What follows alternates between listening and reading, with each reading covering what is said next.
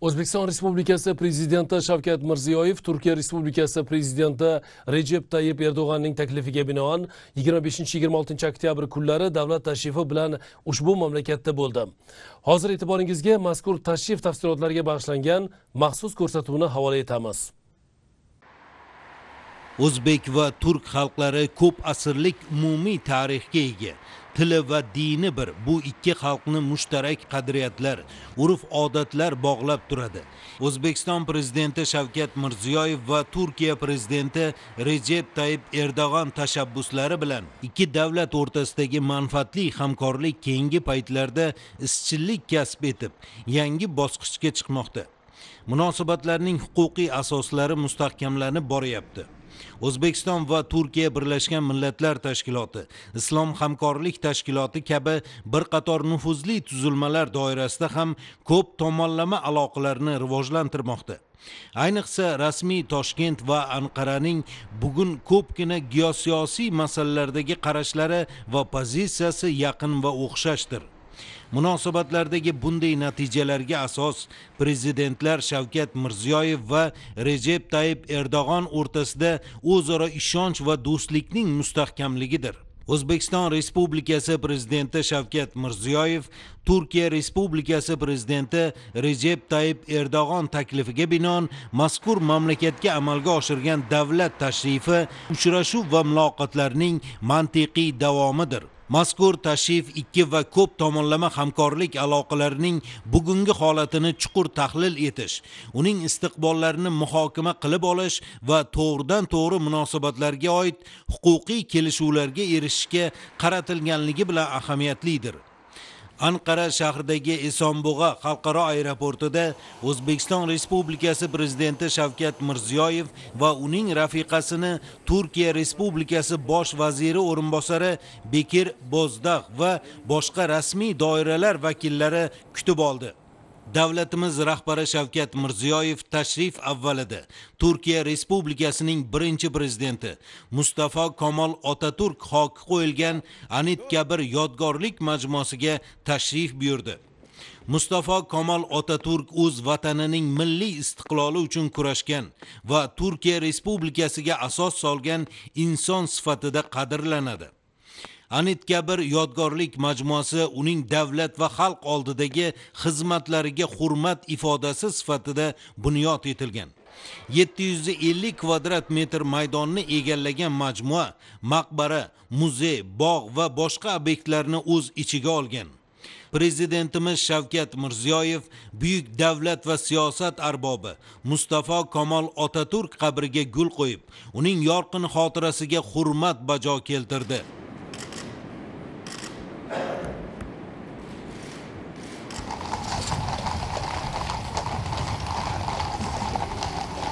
O'zbekistonlik oliy martabali mehmonni rasmiy kutib olish marosimi turkiya prezidentining shahar markazidagi qarorgohida o'tkazildi.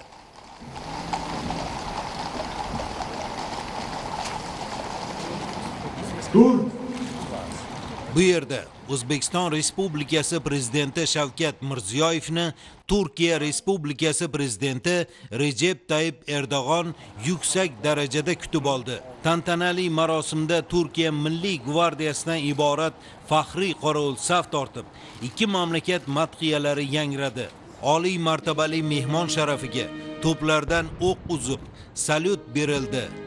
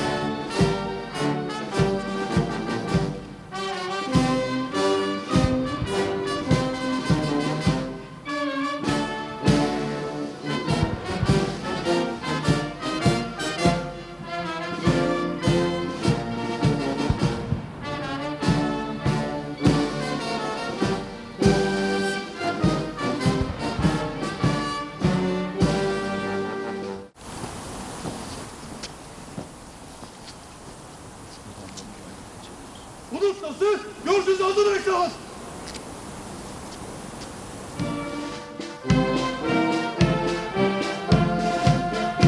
Merhaba asker. Sol!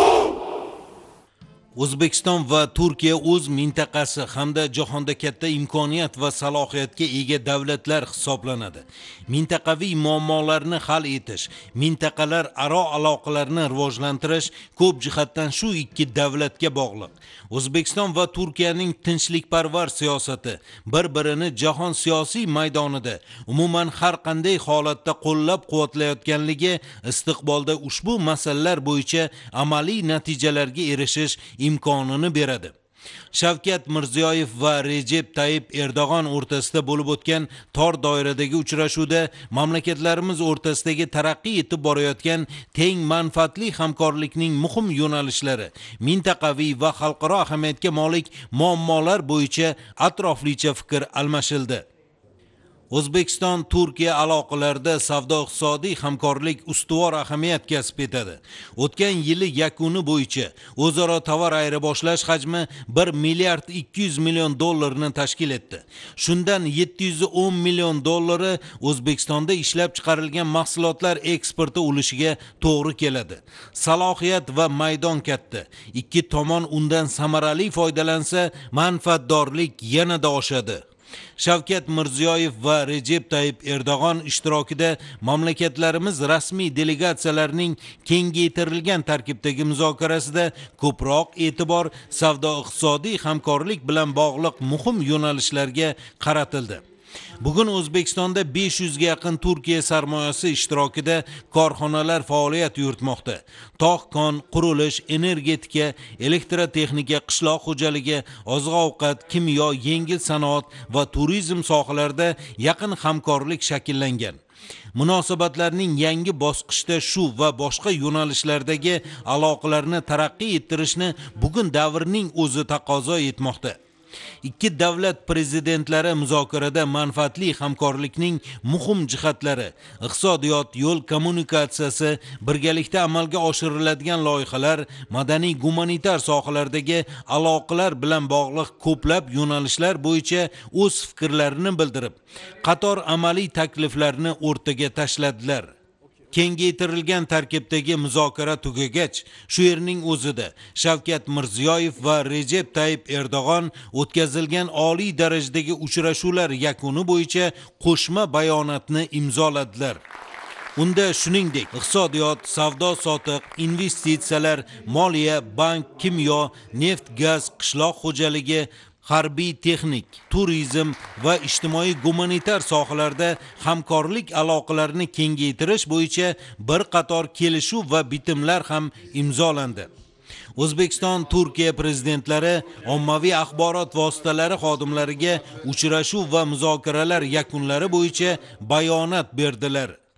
Değerli kardeşim, Sayın Cumhurbaşkanı, saygıdeğer heyet üyeleri, Muhtaram birodarim, janob prezident, qadrli delegatsiya a'zolari, hurmatli matbuot xodimlari. Jon O'zbekistonning janob prezidenti, aziz qardoshim Shavkat Mirziyoyevga yana bir bor sizlarning huzuringizda xush kelibsiz deyman.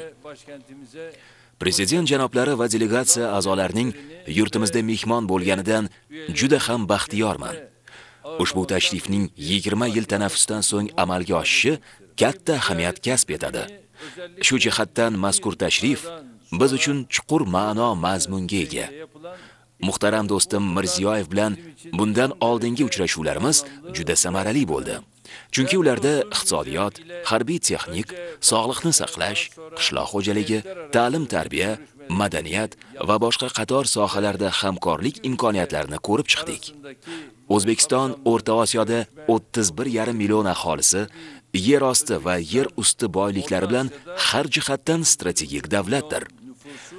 Vataningiz tabiiy gaz ishlab chiqarish bo'yicha dunyodagi salohiyatli 7 ta davlatdan biri sifatida tilga olinsa, uran qazib olish bo'yicha 4-chi, paxta ishlab chiqarish bo'yicha 6-chi va paxta eksporti bo'yicha 2-chi hisoblanadi.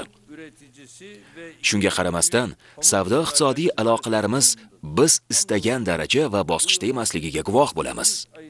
2016-yilda o'zaro savdo sotiq hajmi 1.2 milliard dollar atrofida qayd etildi. Joriy yilning o'tgan 8 oyida bu ko'rsatkich 900 million dollarga ko'tarildi.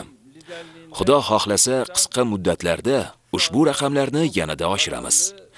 Bu borada ikki mamlakat ishbilarmon doira vakillarining munosib hissasi bor. Shu bois ham tadbirkorlarni qo'llab-quvvatlaymiz. Muhtaram birodarimning tinimsiz faoliyati tufayli juda muhim loyihalar hayotga tatbiq etilmoqda. Biz ushbu jarayonlarda o'zbekistonlik do'stlarimizning yonida bo'lishdan qalbimizda mamnunlik hosil qilamiz.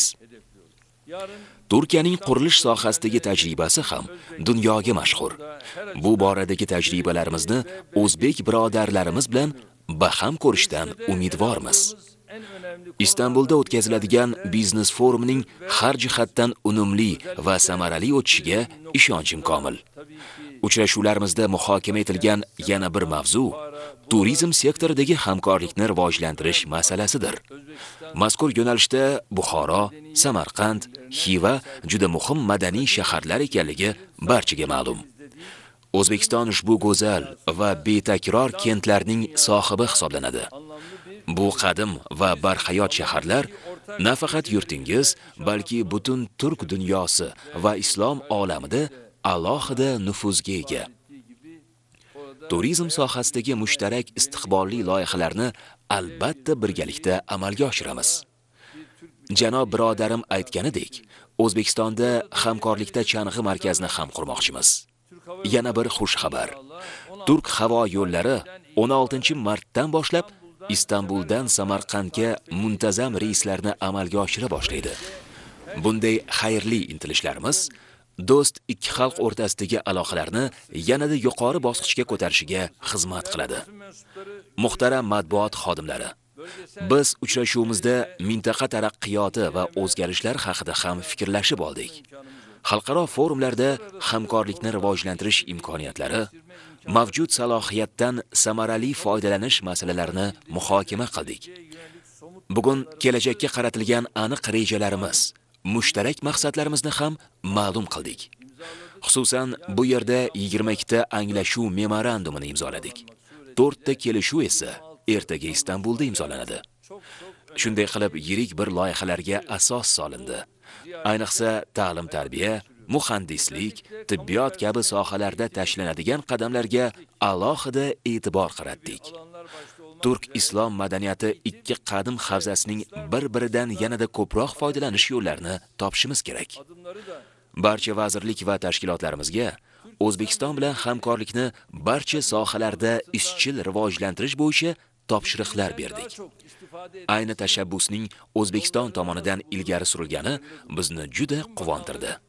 Endi Imom Buxoriy, Imom Motrudiy institutlari mavzusida hamkorlik qiladigan bo'ldik. Biz O'rta Osiyo respublikalari o'rtasida hamkorlikni rivojlantirishga qaratilgan ishlarni himoya qilamiz va qo'llab-quvvatlaymiz. Har doim aytganimdek, ahil va kuchli bo'lishning yagona yo'li birlikdir. Bu borada tashlangan har bir qadam juda muhim va alohida qimmatga ega. Muhtaram qardoshim Mirziyoyevning qo'shnilar bilan hamkorlikni rivojlantirishga qaratilgan sa'y-harakatini chin yurakdan qo'llab-quvvatlayman. O'zbekistonning milliy shoiri marhum Abdulla Oripovning ushbu go'zal satrlari bilan fikrimni ifodalamoqchiman. Muzaffar bo'l, g'olib bo'l, o'ktam, do'stu yoring, qardoshing bilan asrlarning silsilasida boqiy turgay koshonang sening ulug' bashar oilasida mangu yorug' peshonang sening biz ham O'zbekistonning do'sti, qardoshi sifatida har jihatdan kuchli bo'lishi tarafdorimiz. Aziz do'stim, muhtaram birodarim Mirziyoyevning bu tarixiy tashrifi ikki mamlakat orasidagi hamkorlikni yana ham mustahkamlaydi. Janob prezident va delegatsiya a'zolariga yana bir bor vatanimizga xush kelibsiz deyman. Ülkemize, başkentimize ve güzel İstanbul'umuza hoş geldiniz.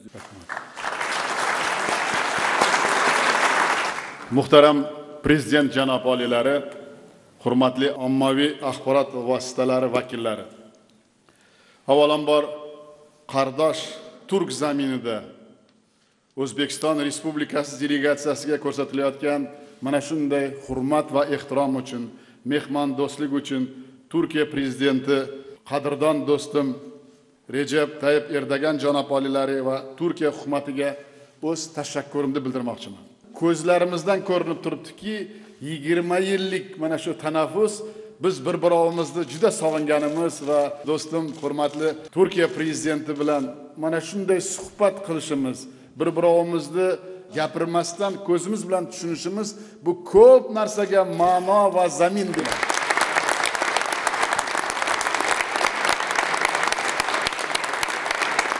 Fursatdan foydalanib yaqin kunlarda nishonlanayotgan turkiyaning milliy bayrami respublika e'lon qilingan kun bilan sizlarni prezident janob oliylari hamda butun turkiya xalqini chin yurakdan tabriklab o'zimning eng ezgu tilaklarimni bildirishga ruxsat etgaysiz turkiya respublikasi prezidenti qadrdon do'stim janob rejab erdogan va turkiya hukumati delegatsiyasi bilan o'tkazilgan muzokaralarimiz xalqlarimiz o'rtasidagi azaliy do'stlik va qardoshlik an'analariga mos holda ochiq va samarali ruhda o'tdi. Muzokaralar davomida siyosiy diplomatik savdo iqtisodiy sarmoyaviy sayyohlik logistika madaniy gumanitar va boshqa sohalarda ikki tomonlama munosabatlar atroflicha chuqur va mazmunli muhokama qilindi. Muzokaralar aksariyat dolzarb mintaqaviy va xalqaro muammolar. Shuningdek birlashgan millatlar tashkiloti islom hamkorlik tashkiloti doirasida aloqalarni mustahkamlash bo'yicha yondashuvlarni o'xshash va mushtarak ekanini ko'rsatdi. Muzokaralar yakunida keng ko'lamli hamkorligimizni yangi strategik bosqichga ko'tarishga zamin yaratgan qo'shma bayonot imzolandi. Bu tariximizda birinchi marta mana shunday yo'nalish va mana shunday zamin yaratilishi. Ikki mamlakat vazirlik idoralari o'rtasida iqtisodiyot savdo sotiq transport logistika sanoat ilm fan ta'lim turizm va boshqa sohalardagi aloqalarni mana o'zlari ko'rdilaring. Mana yigirma bitta hujjatga qo'l qo'yildi. Mana ertaga istanbulda ham qo'l qo'yiladi. Ertaga o'zbek turk forumi bo'ladi istanbulda. Unda ham katta uch yarim milliard dollarlik biz mana shu e, hajmdagi o'ttiz beshta loyihaga ertaga qo'l qo'yamiz. Albatta turk tadbirkorlari va mutaxassislarining o'zbekistonga jalb etishda viza masalasida yengilliklar yaratish muhim o'rin tutadi. Bu borada biz yaqinda alohida qaror qabul qildik. Unga ko'ra turk tadbirkorlari uchun bir yilga mo'ljallangan ko'p martalik kirish vizalari bor yo'g'i uch kunda beriladi. Turkiyalik turistlar uchun esa bunday vizalar bir oyga e, beriladi. Albatta bu mana ommaviy axborot vositalari bilishi kerak. Bu katta ishimizni boshlanishi.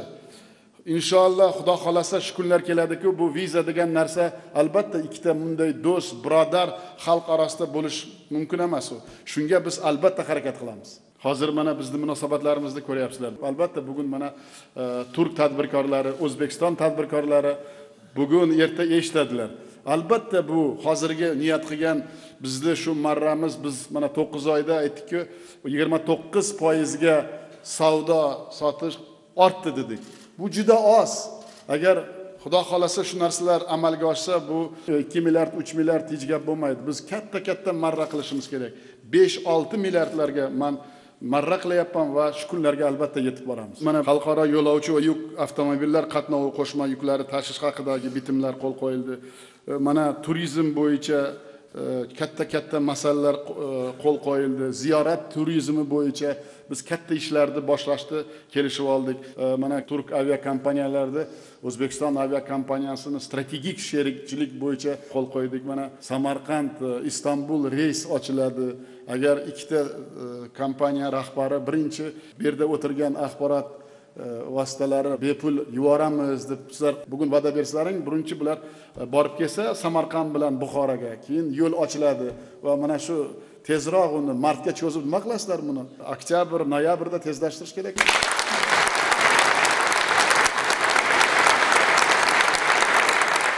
Shuning uchun faqat e, istanbul emas faqat samarqand emas buxoro koni bursa xiva shaharlarimiz bor. Ana shu bizni man o'ylayman katta ishimizni boshlanish biz xavfsizlik masalalari afg'onistonda tinchlik va barqarorlikka erishish haqida har tomonlama keng fikrlashib oldik. Birlashgan millatlar tashkilotida ma'ruzamizda afg'oniston to'g'risida gapirgan gaplarimizni turkiya rahbariyati bizni tashabbuslarimizni qo'llab quvvatlagani uchun biz tashakkur bildiramiz. O'tkazilgan suhbat va muzokaralar davomida samarqandda imom buxoriy xalqaro ilmiy tadqiqot markazini barpo etish hamda toshkentda tashkil etilgan islom sivilizatsiya markazini infratuzilmalari yaratish bo'yicha ham hamkorlik yo'nalishlarini belgilab oldik. Muhtaram xonimlar va janoblar biz turkiya respublikasini dunyoda ulkan siyosiy iqtisodiy va harbiy salohiyatga xalqaro maydonda yuksak obro' e'tiborga ega bo'lgan mamlakat sifatida qabul qilamiz. Turkiya biz uchun xalqaro maydondagi ishonchli va muhim sherik ekanini alohida qadrlaymiz. Biz qardosh xalqlarimiz ravnaqi tinchligi va farovonlik yo'lida an'anaviy do'stlik keng qamrovli hamda uzoq muddatga mo'ljallangan hamkorlikning har tomonlama rivojlantirish uchun bor kuch va imkoniyatlarimizni safarbar etishga tayyormiz. Fursatdan foydalanib qadrli do'stim prezident rejab tayyib erdo'g'an janob oliylarini samimiy mehmondo'stlik va izzat ikrom uchun yana bir bor chuqur tashakkurimni bildiraman. O'z navbatida turkiyaning muhtaram prezidentini o'zlari uchun qulay fursatda o'zbekistonga davlat tashrifini amalga oshirishga taklif qilaman. So'zimning yakunida dunyo xalqlari orasida munosib o'rin va mavqega ega bo'lgan ko'pni ko'rgan qardosh turk xalqiga samimiy hurmat va ehtiromni bildirib go'zal yurtingizga ravnaq va farovonlik tilayman. E'tiborlaringiz uchun rahmat.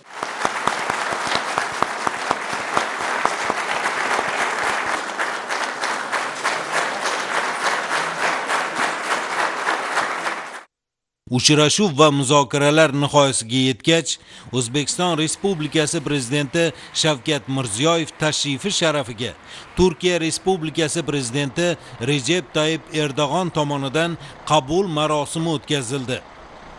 Mamlakatimiz prezidenti shavkat mirziyoyevning turkiya respublikasiga davlat tashrifining ikkinchi kuni ham uchrashuv va tadbirlarga boy bo'ldi. Davlatimiz rahbari dastlab turkiya buyuk millat majlisi ya'ni ushbu mamlakat parlamentiga tashrif buyurdi. Bu yerda o'zbekistonlik oliy martabali mehmonni parlament spikeri ismoil qahramon va deputatlar kutib oldi. Bo'lib o'tgan ochiq samimiy muloqotda asosiy e'tibor ikki mamlakat o'rtasida keyingi yillarda tobora rivojlanib borayotgan o'zaro hamkorlik aloqalari uning istiqbollari va muhim jihatlari parlamentlararo munosabatlarni kengaytirish tinchlik va osoyishtalik yo'lida davlatlarimiz tomonidan olib borilayotgan amaliy harakatlar mintaqaviy muammolar bilan bog'liq ko'plab masalalarga qaratildi. Avvalambor hurmatli ismoil qahramon janob oliylari man bugun mana shunday o'zbekiston delegatsiyasiga ko'rsatilayotgan juda katta alohida hurmat ehtirom uchun minnatdorchilik bildirmoqchiman. Albatta buyuk millat majlisining turkiya mamlakatidagi siyosatida islohotlarida amalga oshirishdagi o'rnini yuqori baholaymiz. Man uchun e, juda bir tarixiy nimaga desangiz bundan yigirma besh yil oldin man o'zim mana shu o'n besh yil parlament a'zosi bo'lib mustaqil o'zbekistonni birinchi parlamenti a'zosi va mandat komissiyasi raisi sifatida to'qson ikkinchi yil buyuk majlisni yetmish ikki yillik sanasini katta nishonlash tantanasida qatnashganman. Buyuk majlis rahbari jinduruq janob oliylari hamma delegatsiyani a'zolari rahbarlarini tanishtirganda buyuk majlisda o'zbekiston delegatsiyasini tanishtirganda mani hech qachon esimdan chiqmaydi. Hamma e, delegatlar tika turib harsak cholgani mana shu e, turkiya xalqining rahbariyatining o'sha paytida o'zbekistonga bo'lgan ehtiromi hurmati e'zozini ko'rsatganini man juda katta hayajon bilan eslayman. Tariximiz dilimiz tilimiz birligi qon qadrdon bo'lishimiz va o'shanda bizga bo'lgan ehtirom hech qachon esdan chiqmaydi. Qadrdon mani do'stim turkiya prezidenti bilan kechagi kelishuvlarimiz butun o'zbek xalqi turkiya xalqi kecha ko'rdiki biz mana shu juda katta katta e, shartnomalarga qo'l qo'yganimiz. Bu ana shu katta ishlarimizni amalga oshirib va kelajakda juda katta rejalar tuzganmiz. Man ishonaman o'zbekistonda oliy majlisi turkiyani buyuk millat majlisi bilan hamkorlikda katta katta ishlarni amalga oshirishga e, qodir ekanimiz va shunga tayyor ekanimizni biz bugun bizni delegatsiyamiz sizni delegatsiya a'zolaringiz bilan batafsil kelishib olish uchun biz bugun buyuk majlisga keldik. Shu yerning o'zida O'zbekiston Respublikasi Oliy Majlisi Senati bilan Turkiya Respublikasining Buyuk Millat Majlisi o'rtasida hamkorlik bo'yicha hujjat ham imzolandi.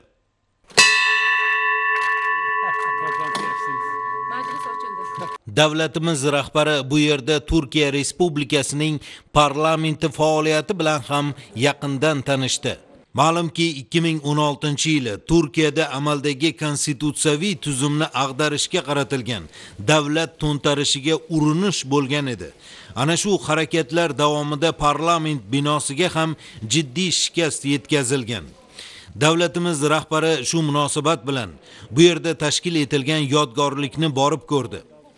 Bu yodgorlik achchiq xotiralarni esga solish bilan birga xalqning tinch osoyishta hayotini izdan chiqarishga qaratilgan har qanday xurujlarni qoralashga da'vat etadi.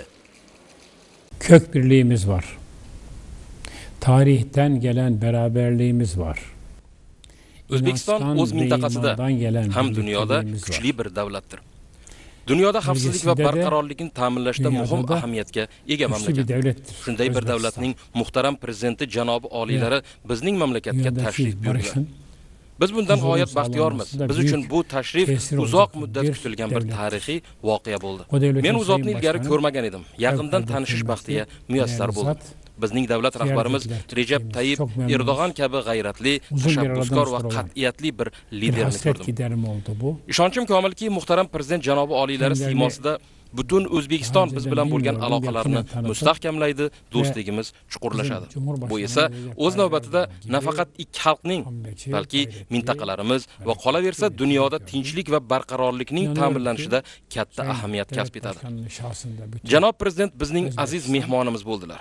Ularga va ular orqali butun o'zbek xalqiga turkiya buyuk millat majlisining majlisning barcha a'zolari hamda butun turk xalqining eng ezgu tilaklarini samimiy salomlarini yetkazish sharafiga erishdim.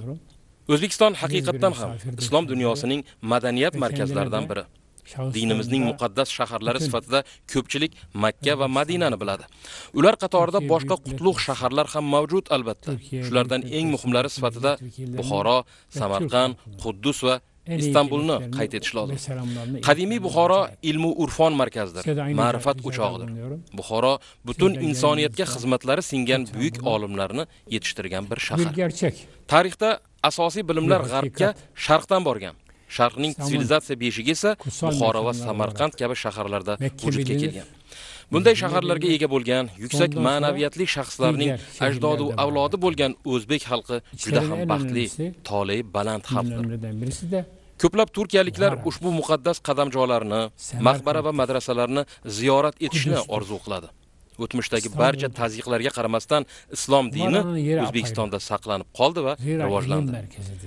Bugungi kunda dunyoda noto'g'ri buzg'unchi bir tushuncha yaratishga şahlandıran, ya'ni islomdan qo'rqish hissiyotini sindirishga qaratilgan urinish kuzatilmoqda. Aslida terrorning dini yo'q millati yo'q. Terror insoniyatga qarshi jinoyatdir.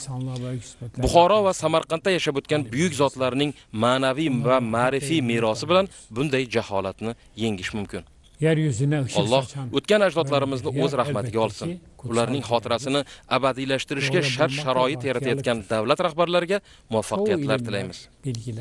sizning mamlakatingiz ichki va tashqi siyosatida ko'plab ijobiy o'zgarishlar yuz berayotganini kuzatmoqdamiz ayniqsa qo'shni o'lkalar bilan munosabatlardagi jonlanish juda muhim jarayon. O'zbekiston aholi soni ilm fan va taraqqiyotning yuksak saviyasi. Shuningdek barqaror rivojlanishdagi o'rni nuqtai bakımdan mintaqada muhim davlatdir muhtaram prezidentning sa'yi harakatlari shubhasiz ijobiy natijasini beradi. men shaxsan hurmatli prezident shavkat mirziyoyevni chin ko'ngildan tabriklayman.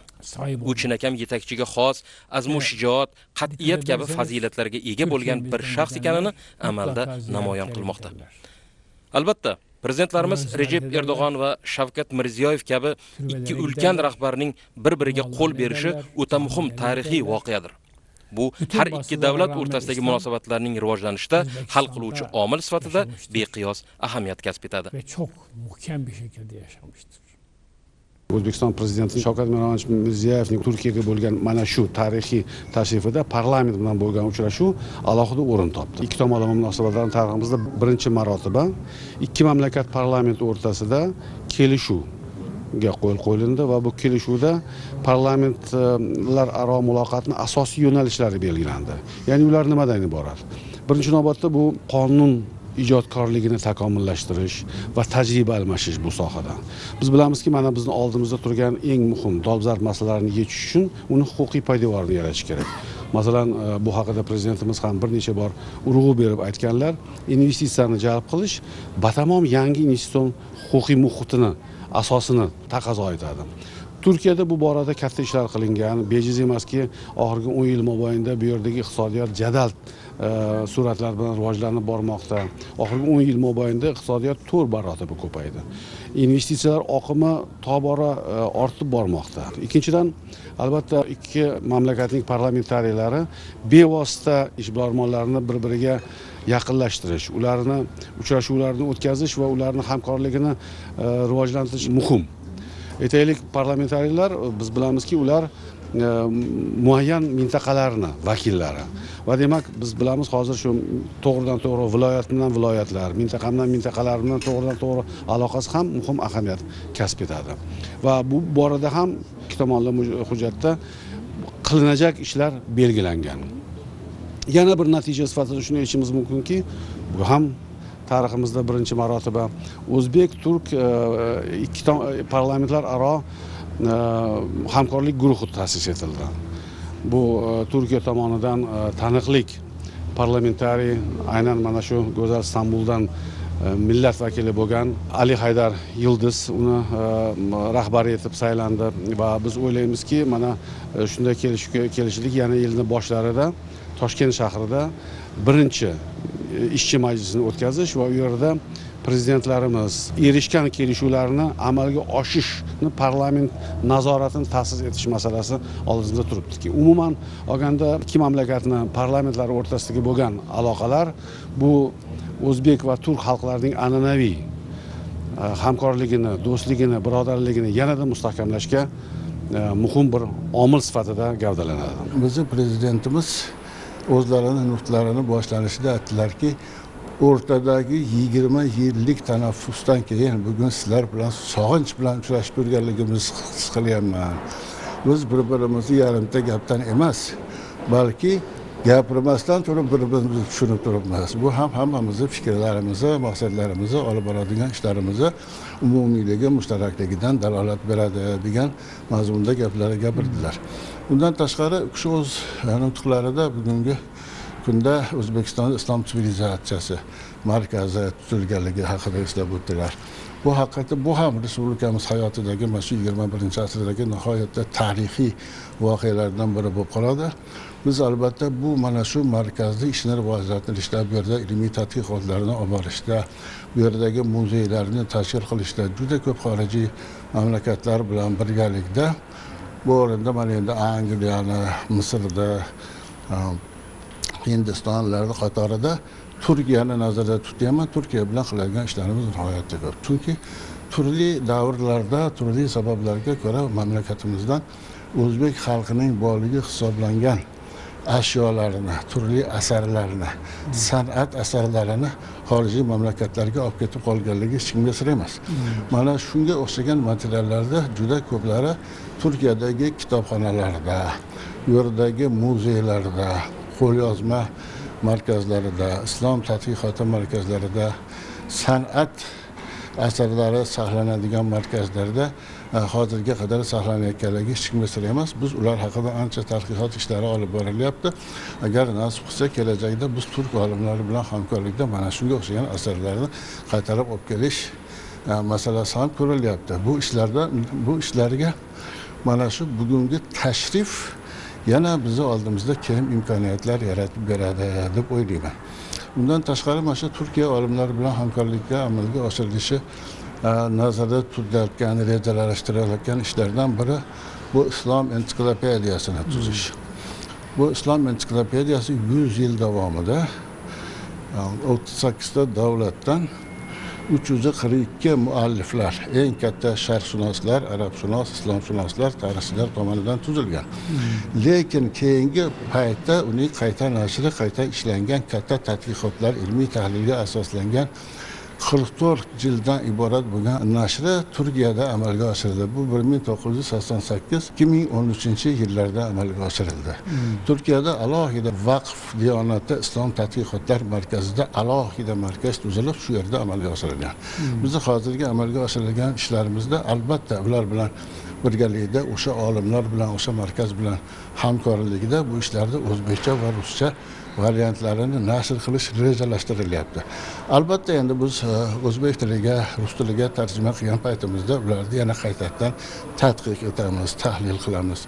E, o'zimizni mintaqamizni spetsifik xususiyatlarini hisobga olgan holda o'zimizni allomalarimizni bu yerdagi yangiliklarni mana shu hanafiya mana mazhabi talqinida yangi ensiklopediya yaratamiz. Alhamdulillah o'zbekistonni jamoli kamoli taraqqiyoti kundan kunga ziyoda bo'lyapti.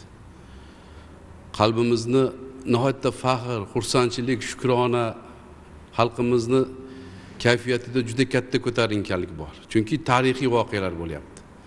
Birlashgan millatlar tashkilotida o'zbek xalqini juda katta bir tashabbusini muhtaram prezidentimiz hamma sohada e'lon qildilar. Tinchlik xotirjamlik ma'rifat hamma hamma holatda.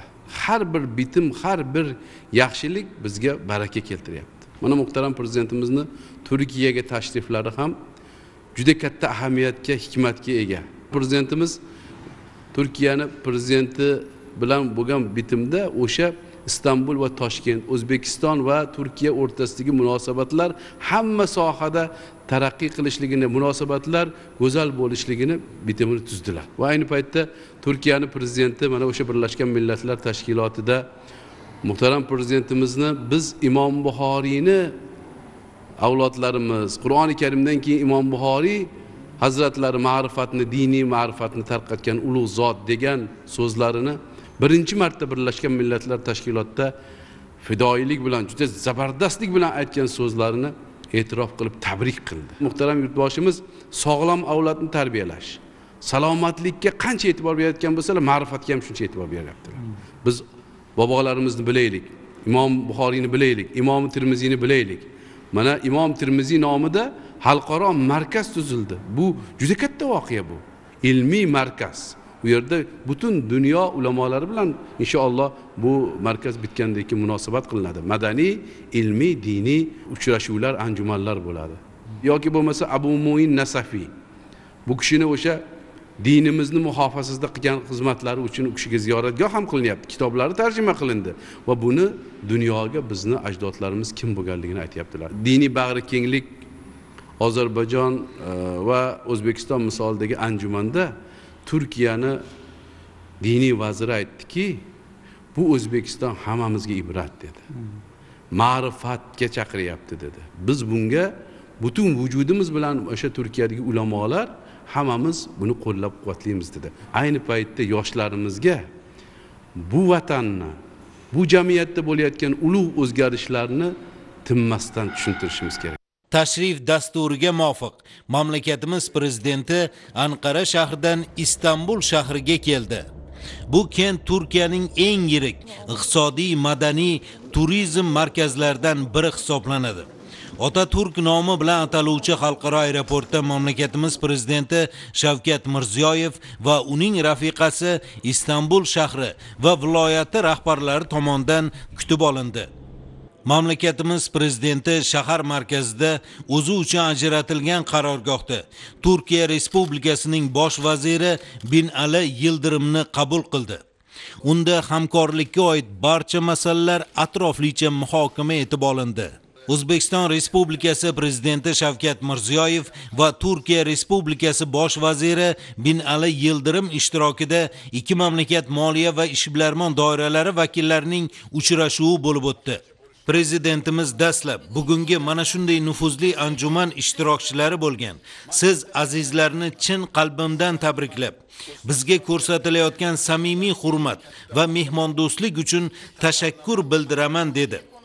Turkiya prezidenti qadrdon do'stim Recep tayyib erdo'g'on janobi oliylari bilan o'tkazgan muzokaralarimiz davomida biz ko'plab masalalar qatorida mamlakatlarimiz o'rtasidagi savdo iqtisodiy va sarmoyaviy hamkorlikni har tomonlama jadal rivojlantirish buning uchun bor kuch va imkoniyatlarimizni safarbar etish haqida kelishib oldik. Bu masalalarga alohida e'tibor qaratamiz va o'zbekistonda turk kompaniyalari uchun eng qulay sharoit yaratishga tayyormiz dedi prezidentimiz. Sizlarni man o'zbekistonga taklif qilishdan eng katta masalam ikki tomonlama manfaat. Manfaat yana bir marta manfaat. Biz manfaatdor ikki tomonlama bo'lsak ana shunda sizlar mana shunday buyuk kompaniya rahbarlari sizlar ana shunda natija qilasizlar. Sizlarni fikrlaringni eshitmoqchiman. Sizlar o'zbekistonda yana nima xohlaysizlarki shu biz kechagi mani birodarim e, janob erdo'g'an bilan biz kelishgan narsalar amalga oshishi uchun bu bir.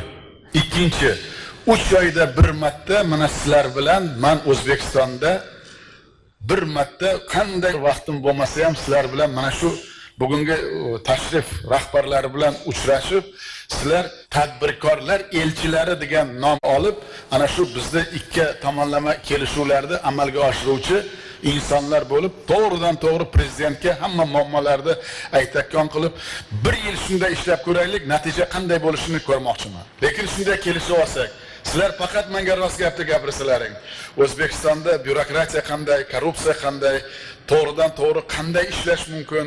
Kim yana to'sqilayapti mana viza bo'yicha gaplashdik. Bu viza boshlanishi katta ishni boshlanishi. Mani ham niyatim vizasi bo'lishi kerak. Qardosh xalqlarda viza bo'lishi kerak emas. Lekin unga ikkita uchta hali muammolar bor. Lekin agar biz mana shu bir yilda shu tarzda ishlasak mana shu vakillar bilan yaxshi bo'lardi. Bosh vazirimiz ham o'zlari toshkentga kelsa yo samarqandda biz ikkovimiz sizlarni toshkentda yo samarqandda qabul qilsak bu ham bir ish rejamizni mutlaqo e, qandaydir amalga oshirish bo'yicha tezlashtirish nuqtai nazardan natija bo'lar edi degan fikrdaman. Sizlar bitta narsani bilishlaring kerak. O'zbekistonni muvaffaqiyatlarini ham kamchiliklarini ham mandan boshqa yaxshi biladigan odam yo'q. Shuning uchun kelishib olsak shu tarzda bir yil ishlasak natija mutlaqo mana shu ikkita birodar qardosh xalq o'rtasida boshqacha bo'lishiga man inonaman ishonaman. Biz e, valyuta masalasini hal qilganimiz bir yil oldin bu gaplarni man gapirolmasdim. Sizlar menga savol berardilaring. Xo'sh man tijoratimdan e, kechirasiz daromad topdim. Daromadim nima bo'ladi degan savolga javob yo'q edi. Hozir savolga javob bor. Man o'ylayman bunday taklif ko'proq foyda bo'ladi.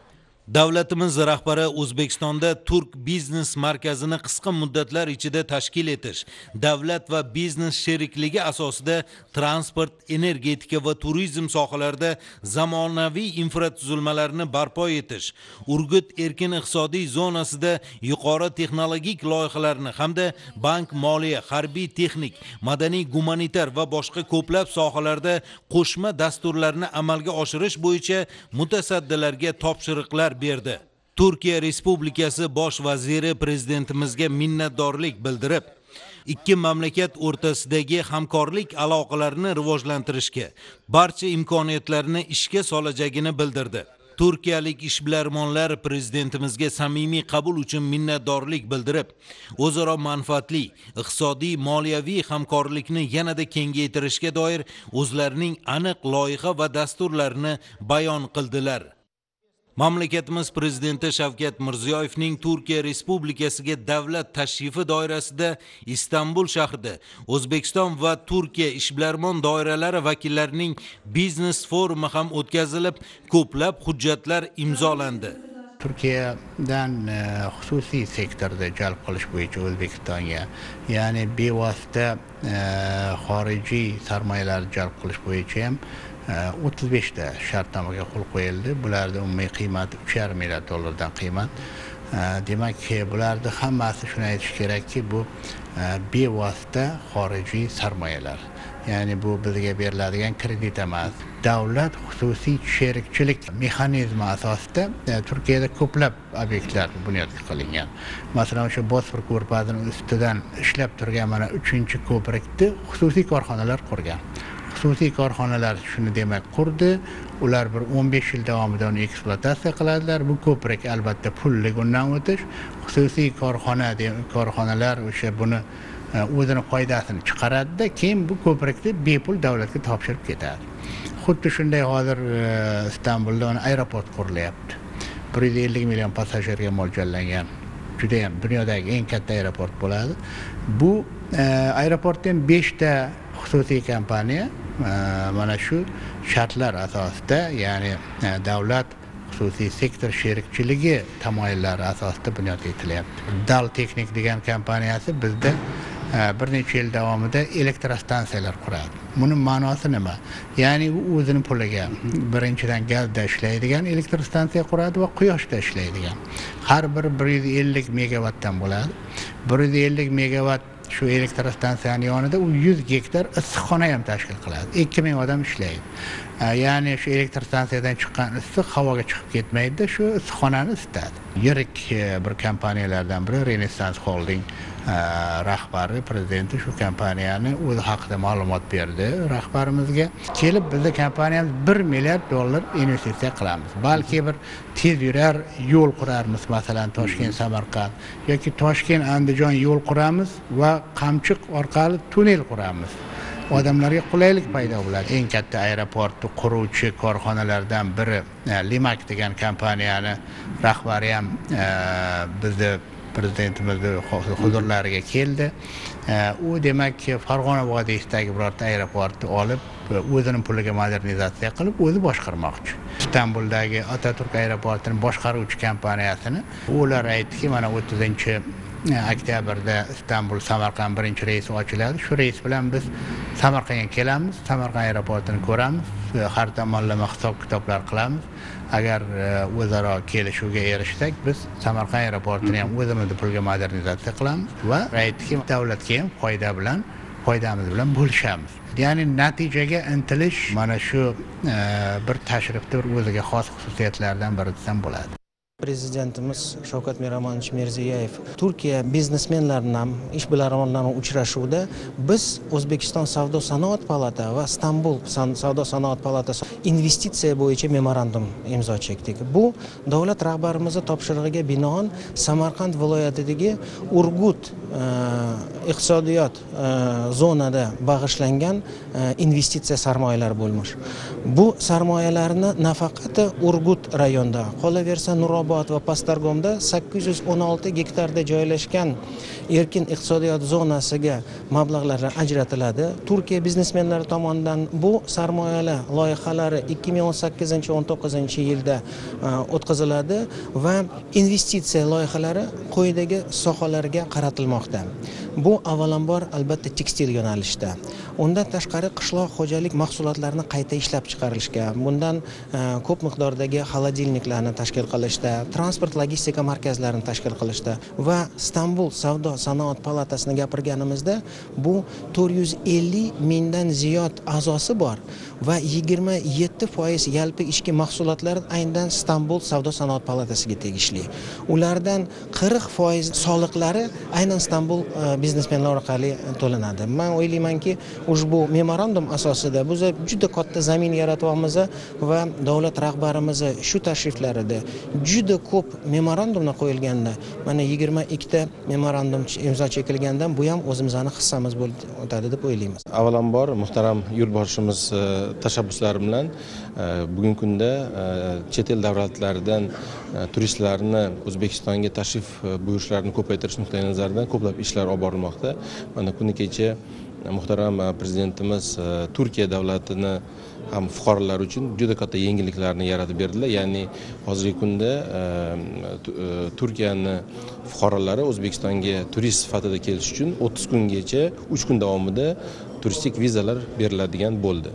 Va buning natijasida hozirgi kunda ko'plab e, turkiyaning e, turistik agentliklari kompaniyalari o'zbekistonga ko'plab tashriflar buyurish e, bo'yicha qiziqish bildirmoqda va hozirgi kunda ko'plab shu ularni vakillari o'zbekistonni e, turkompaniyalari bilan shartnomalar imzolanmoqda.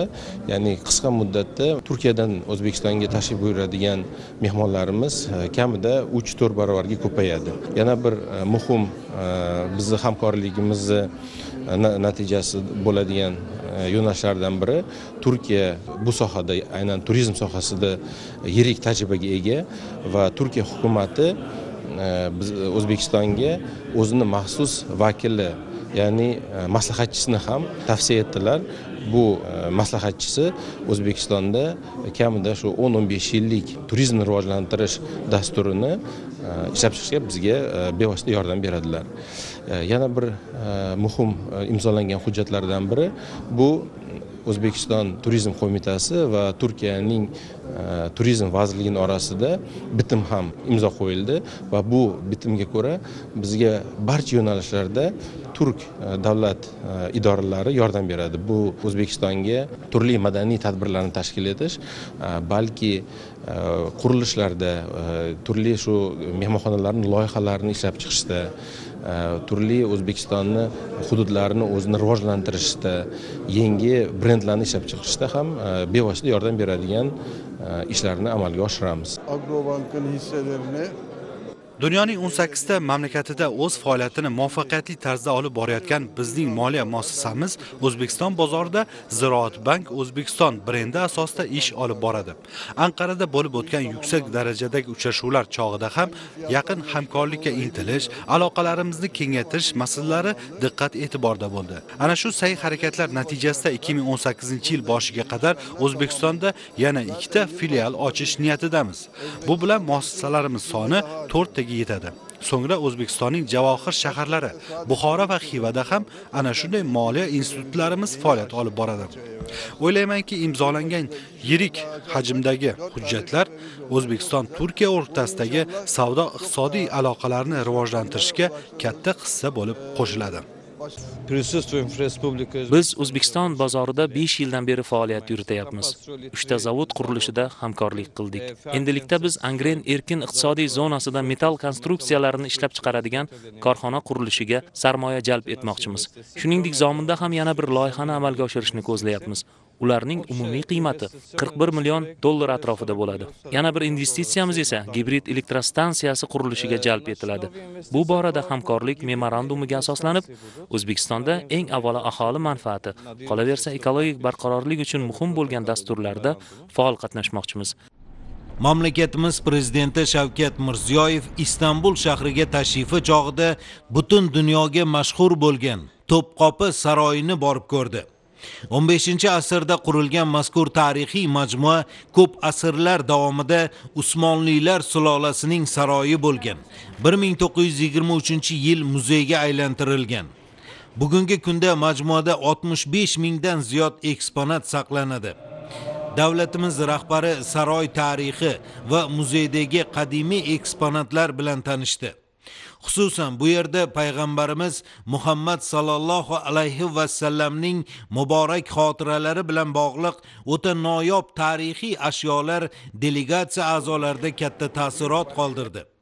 Davlatimiz rahbari turkiya prezidenti rejep tayib erdo'g'onga mana shunday imkoniyat yaratib bergani uchun minnatdorlik bildirib har ikki mamlakatning mana shunday madaniy ma'rifiy muassasalari o'rtasida o'zaro hamkorlik aloqalarini kuchaytirish zarurligini ta'kidladi. Bu yerda prezidentimizga muqaddas qur'on kitobining noyob nusxasi taqdim etildi. Muxtasar qilib aytganda prezident shavkat mirziyoyevning turkiyaga amalga oshirgan davlat tashrifi o'zaro hurmat ochiqlik hamda xayrixohlikka asoslangan uzoq muddatli va ko'p qirrali hamkorlikni mustahkamlash uchun har ikki mamlakatga katta imkoniyatlar yaratadi. Qolaversa oliy darajadagi muzokaralar mamlakatlarimizning gullab yashnashi hamda xalqlarimiz farovonligi yo'lida davlatlararo munosabatlar